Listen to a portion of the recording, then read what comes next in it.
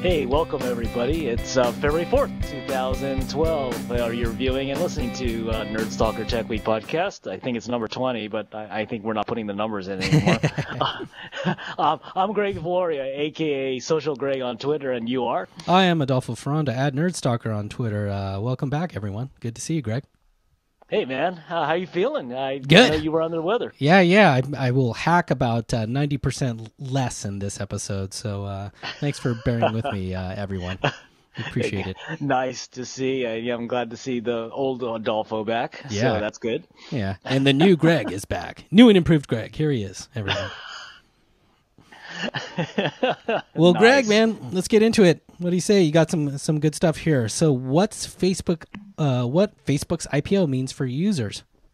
What's Well, you know, yeah, you know, IPO launched with the uber billion, five billion IPO this Yeah. week, and uh, that was incredible, wasn't it? Yeah. Um, uh, and uh, you know, it, you know, everyone was talking about. You know, in terms of from the investment side, but uh, the story I, I got from uh, Cameron Scott, uh, IDG News via PC World, Hmm. um, you know, really discussed what can they do with the money you know, Mm-hmm. for for us the users right i mean that's all we care about right, Right. so um you know I, I think a couple of quotes they got from some of the analysts after the ipo you know one i thought was interesting you know users can see uh, changes in the mobile experience sooner rather than later. You know if everyone's anyone out there think a lot of people are facebook users you notice that your mobile experience and your desktop experience are starting to kind of merge slightly. You know they're they're very common you know where they were very separate before right? If, True. if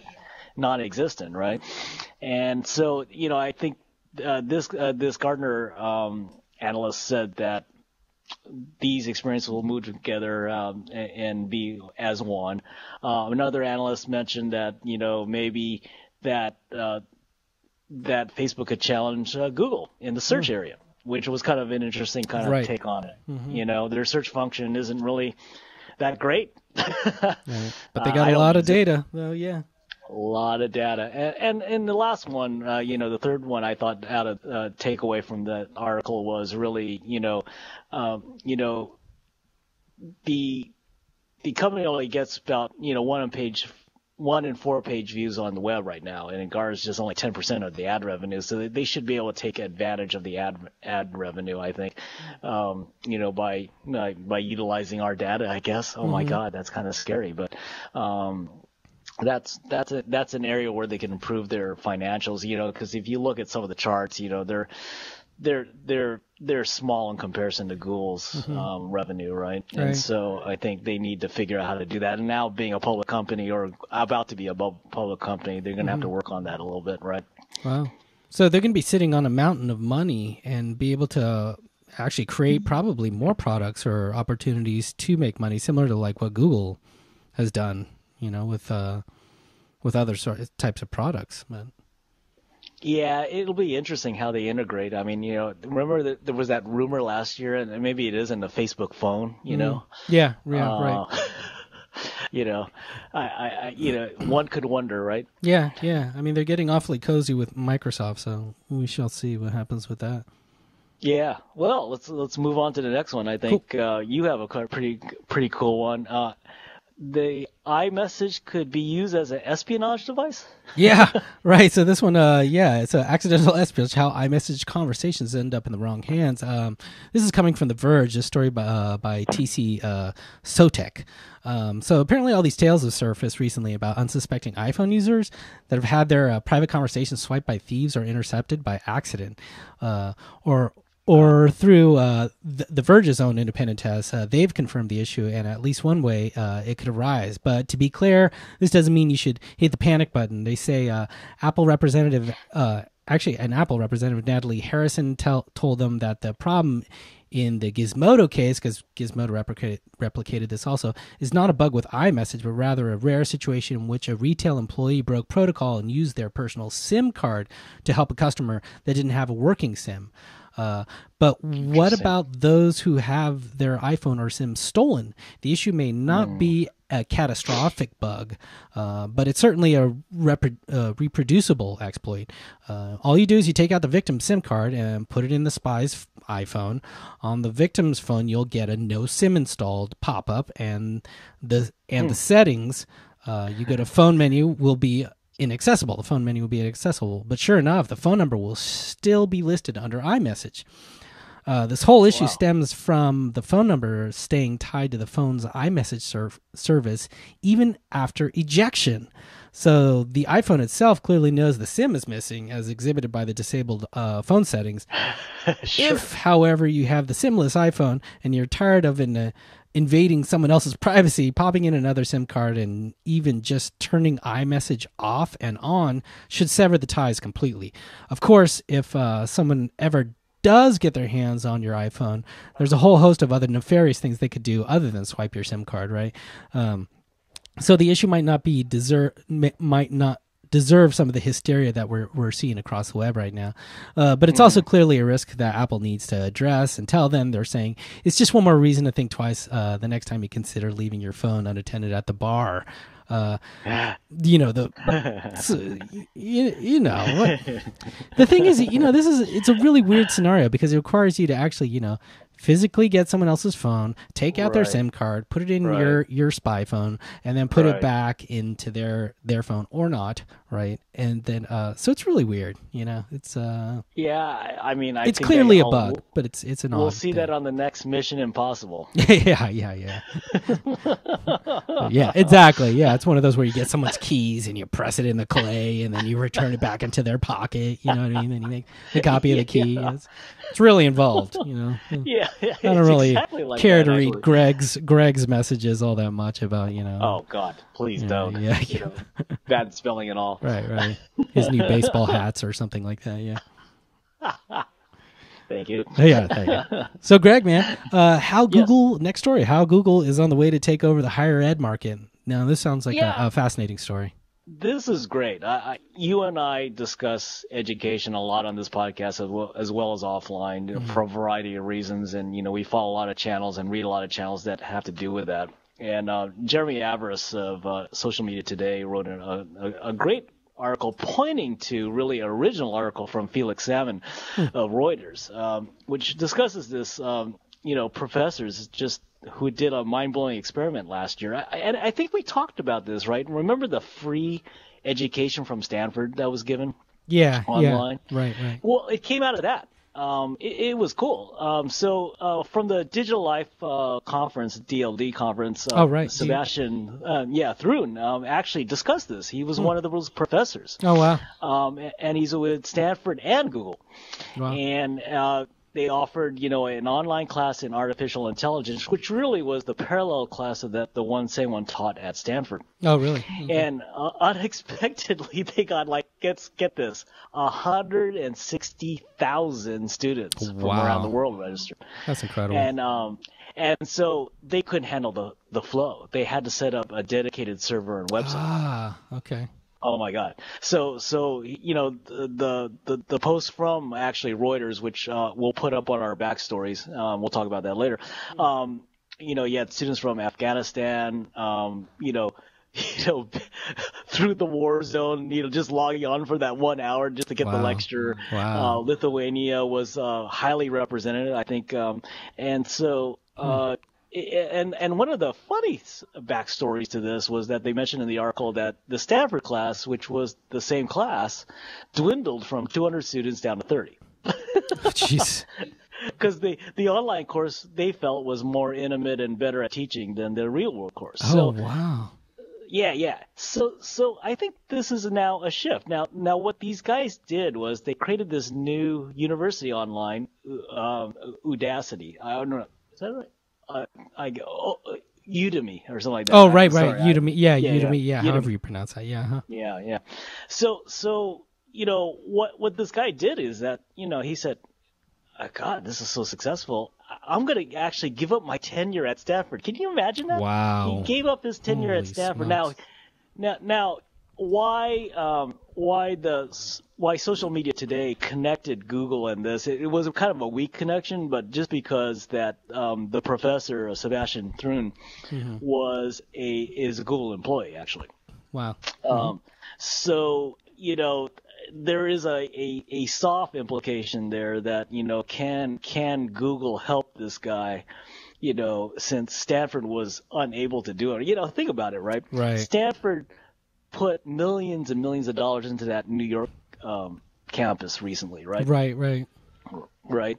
And so a lot of people are talking on Twitter and, and the web saying, like, well, what's up with this? You know, it almost seems like Stanford didn't want to help this guy. I, and I don't know if, if that's true or not, but it, it just begged the question, hmm. right? Yeah. So uh, I mean, I think you know, with the social world we're in, right? As you and I know, the, all the boundaries are now knocked down, and why not in education? Right? Yeah, yeah. I mean, look at the really interesting. Well, one of the many interesting parts of this is just the the sheer demand for people to want that higher education. You know, um, right they're just starving for it. Look at that. Look at that. The popularity. I, you know, we're really at the cusp of, I think, of this education explosion, uh, especially in this mm. digital age. You know, and we're on the forefront. We get to watch this. You know, you mean we're, we're seeing, we're seeing all this uh, innovation in, in this field and people trying new things. And if this guy is willing to leave, you know, Stanford and leave the comfort of tenure in order to pursue something that's yeah. you know clearly has a trajectory one of those like hockey stick trajectories you know um yeah there, there's something happening here and and i'm glad you brought this up because it's it's very interesting yeah, I, I, thought we had to mention that on the podcast because I think you know there, everything kind of got washed away with with Facebook and you know a couple other things that happened on Twitter and stuff like that. But um, mm-hmm. I thought this was kind of a lot more impacted to the world in terms of education yeah. and, and just our, you know, moving forward with the world, right? right, right. So, so cool. Now on cool. to an even uh, more important story: a party bus. Well, yeah, I, I, I, saw that. I was like, uh, wait, wait, a minute. Is he Thanks for topping me, me Greg.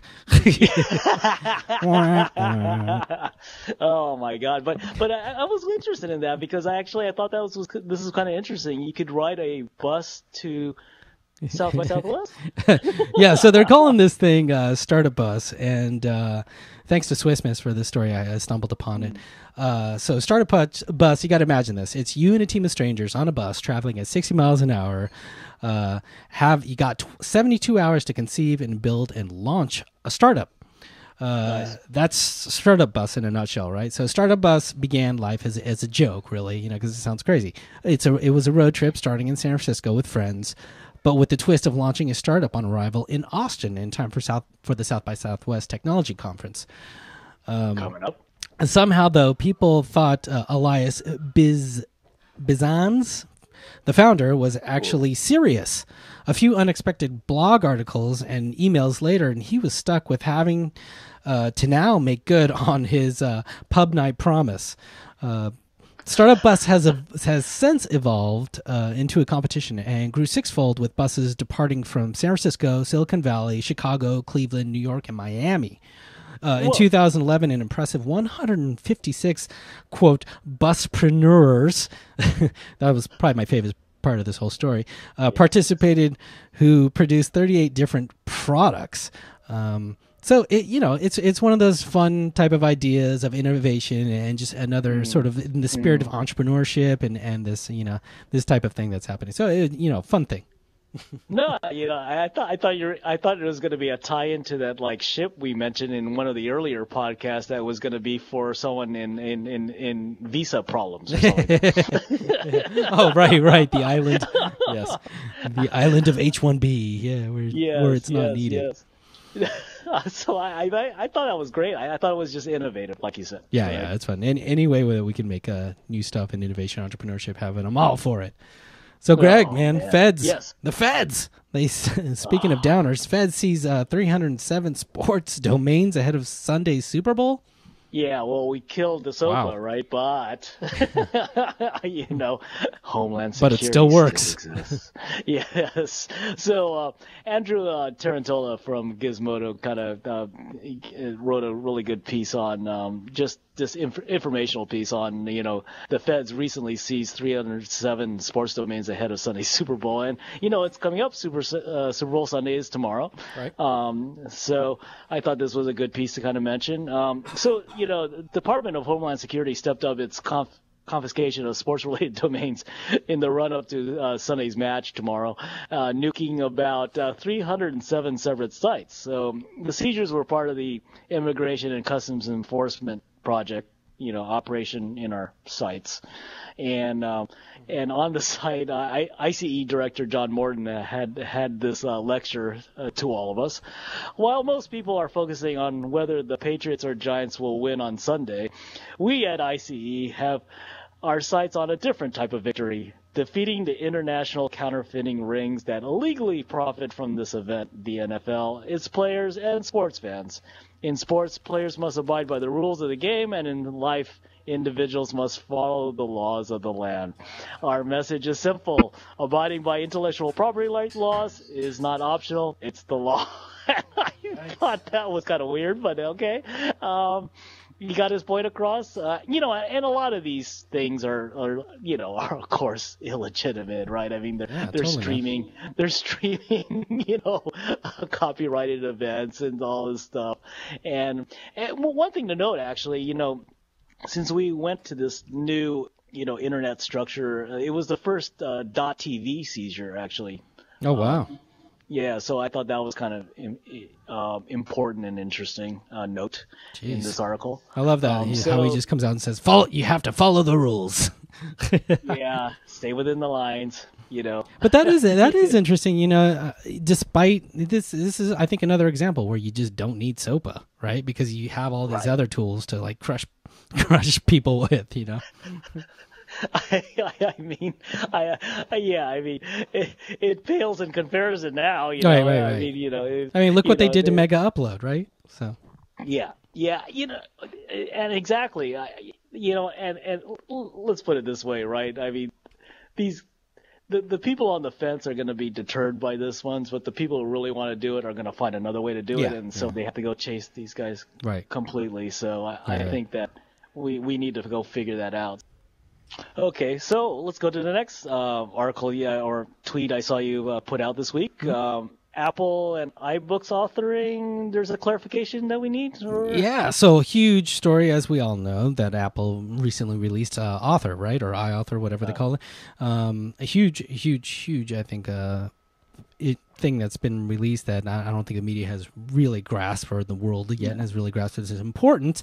But one of the things, uh, thanks to the Next Web and Matt Matthew Panzarino, uh, who wrote this story, is. Uh, a lot of people were worried about the the user agreement, right? And there were there were all these clamorings about you know Apple like taking ownership. If you write a book, Apple owns it, and all this stuff. So Yeah. so what Apple's done in the story here it says the changes to the EULA clarify that Apple does indeed intend the packaged product to be sold sold on the iBo- iBook store only, but also makes it clear that it does not lay claim to the content that you use to create the book, nor does it try to limit what you can do with that content elsewhere. Um, so what what they did is they said they took a closer look at Apple's recently released authoring tool uh, just after it was released. Uh, subsequent to the release, much was said about the terms and conditions, right? So all those concerns, you know, some said that it was uh, the terms were unfair or even dangerous to soft, software rights. Uh, this change in wording uh, should make it clear, as many might, uh, many right-minded people have assumed, that Apple was never interested in limiting the distribution of the content uh, that was not packaged in the iBooks format, right? So they want iBook stuff to be, of course, in iBooks, right? And if it's not packaged in iBooks format, they don't care. Uh, the wording Yeah, of the right. original was taken by some to mean that Apple was trying to exercise the rights on all kinds of content, including universal formats like PDF, not just iBooks. Uh, the EULA still includes language that indicates users are free to distribute iBooks formatted documents free of charge by any means they choose. Uh, they just can't charge for them anywhere else. So uh, when it's you I know see. the thing what they're saying essentially is that if it's an iBooks format, yeah, of course, you know it's going to stay in our. uh, It's a proprietary thing, right? But as you, own the content, this is your stuff. But um, if it's if you output it in some other format, we don't care. Right. Yeah, it's that's your priority.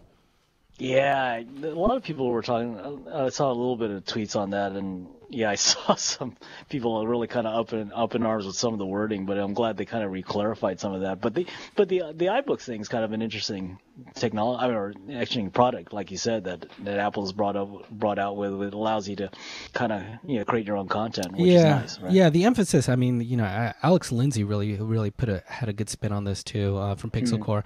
He uh, he said, you know, they're they're pitching this sort of as a, a textbooks, uh, scholastic textbooks kind of thing, right? But in reality, the the implications of this are huge in the enterprise and in business for things like um, user manuals, internal sort of training documents, and that and that kind of stuff, oh, right? How things wow. operate, right? Your product, your widget, right? Of this and that, you it can be completely interactive video, and it's all super easy. I mean, if you know Keynote and Pages, you essentially that's author right and and right. it outputs into ipad native format it's, i mean it's oh, nice. awesome awesome nice. oh, well, with like I mean, very little need for a developer I, mean, then, then that's the PDF killer, right?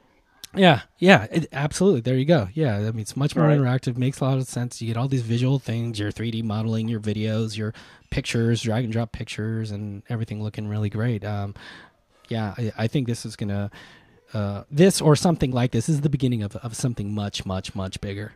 So wow, well, yeah, I, I, that's exciting. I, I think uh, let's keep an eye on that this year and see how much um, you know how much people take to it. I think I think like you said, I, I like that like that take that that person's head on that. So it's good.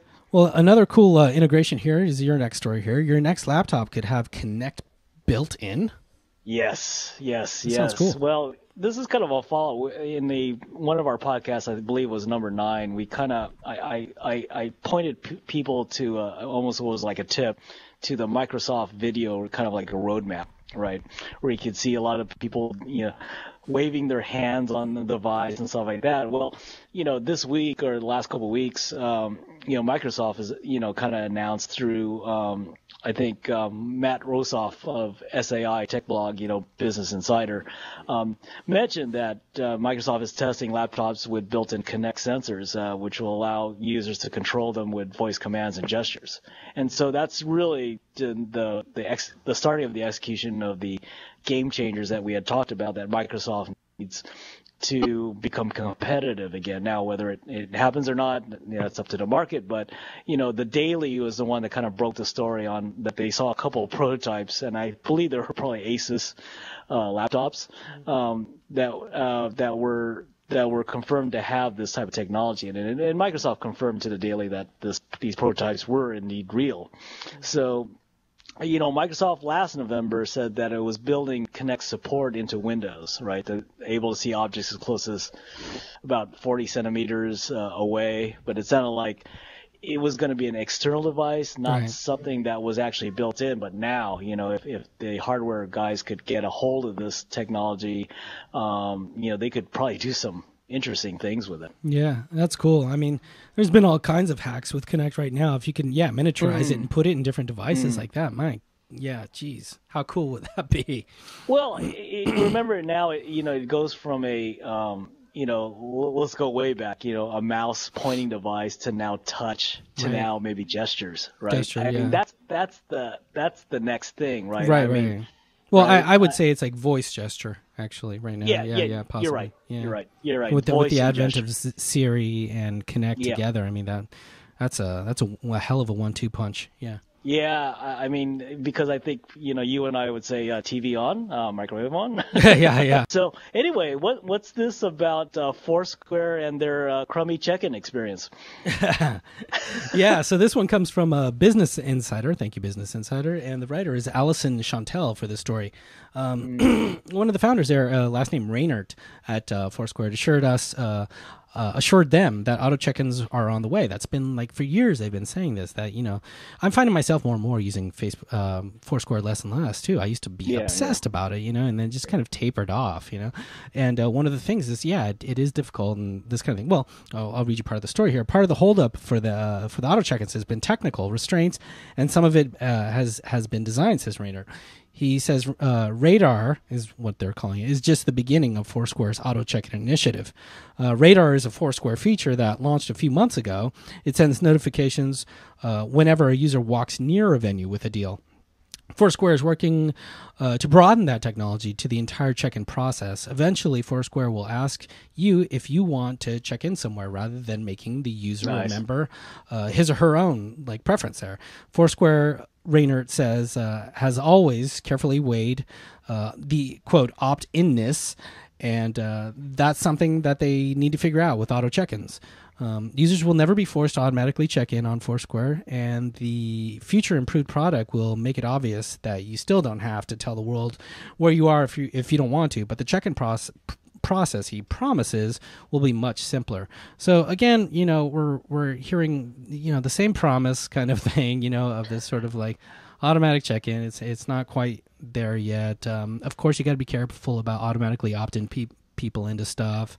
Um, Yes, So they're yes, kind of stuck between a you know a rock and a hard place here because um, as I stated from the beginning, I'm really losing interest in, in Foursquare and having to do something again. I'm already updating my path, my you know Facebook, my Yes, yes, you know my yes. Twitter, and and this and that and this and that, and um, I don't know uh, location stuff in in uh, Facebook and in Google Plus and etc. is becoming more and more just easier, sort of to use as well. And I don't know that I'm all that all that uh, interested in in uh, in uh, the checking in process anymore. You know. You know, the only the only reason I use it is is really when I go to maybe lunch and I, I will look for a deal. Hmm. You know, um, that's the only reason I would do it. Um, you know, I, I thought if there was some kind of group on Foursquare's um, kind of collaboration that we could actually, you know, do something a little bit better than that. Um, uh, See, I, I, I, thought- like getting my deals at, at time of purchase. So for something like a level up, where you get like a 2D barcode on your phone and you just Got it, got buy it. your thing like that, and you've already and you get your discount, right? As Got opposed it, to having to check in and then look, oh, there's a deal here, and look, I got a deal here. I'm mayor of you know Yeah. whatever.